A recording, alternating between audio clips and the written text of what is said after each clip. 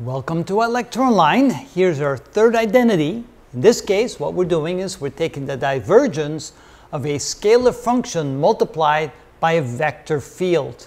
And they tell us that that is equal to the scalar function times the divergence of the vector field plus the vector field multiplied times the gradient of the scalar function and multiplied via the dot product.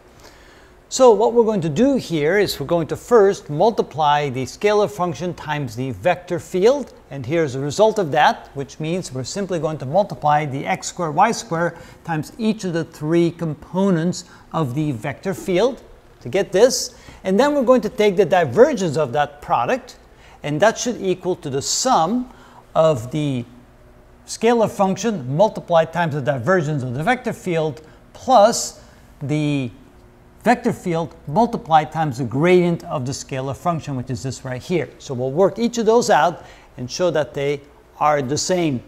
So that shows then that the vector, that the identity can be used sometimes to simplify something in terms like this. So let's go ahead and take the divergence of this product first. The divergence means we take the first, we take the partial derivative with respect to x of this, the partial derivative with respect to y of this, and the partial derivative with respect to z of that quantity right there. So first here, the partial with respect to x of that will give us 4x cubed z plus 2xy squared z. Notice it no longer is a vector quantity. When we take the divergence, we end up with a scalar quantity. Now we take the derivative of this, the partial derivative with respect to y. So this gives us plus 2 x cubed y plus 4xy cubed, and then plus the partial derivative with respect to z of this. Notice these two quantities do not have a z in them, so they drop out. We have those two quantities, so this becomes 2x squared plus 2y squared.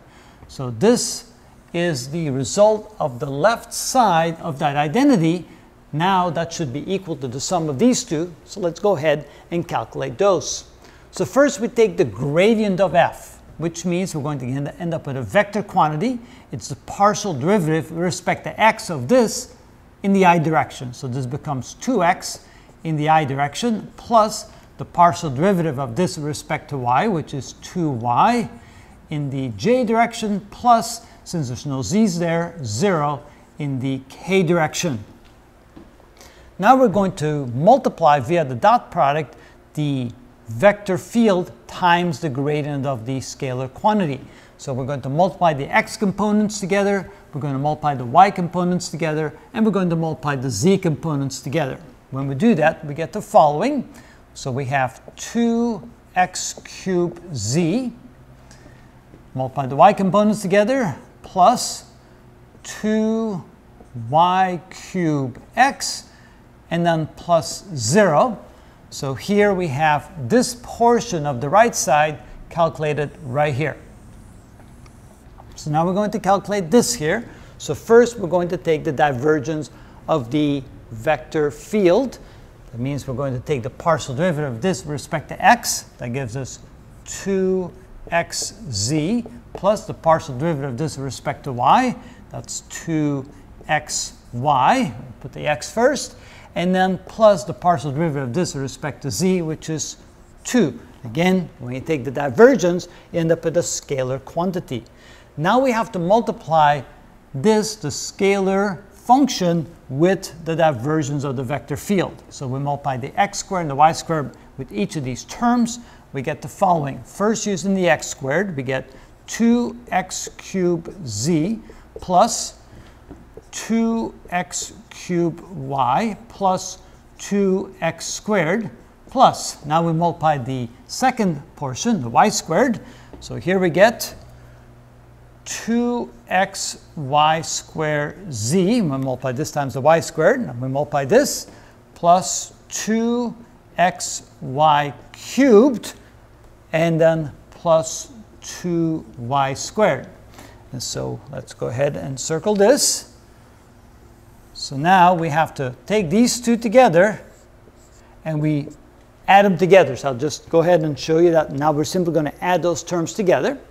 So this is going to be equal to, we have a 2x cubed z, 2x cubed z, which is a 4x cubed z.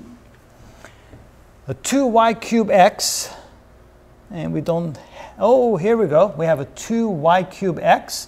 So um, that's four of them. So plus 4y cubed x.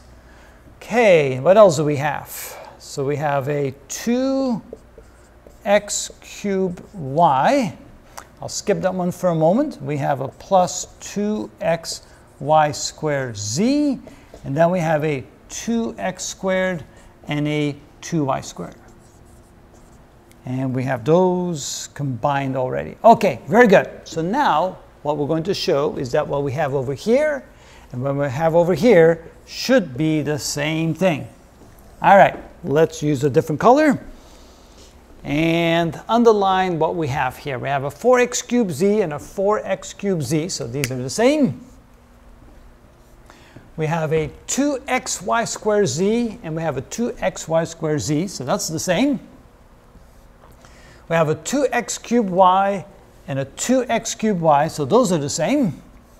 We have a 4x cubed xy cube and a 4xy cube, so those are the same.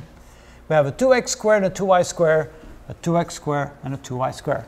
So again, we've shown you through an example that that identity appears to work. And that's what we mean by identity number three.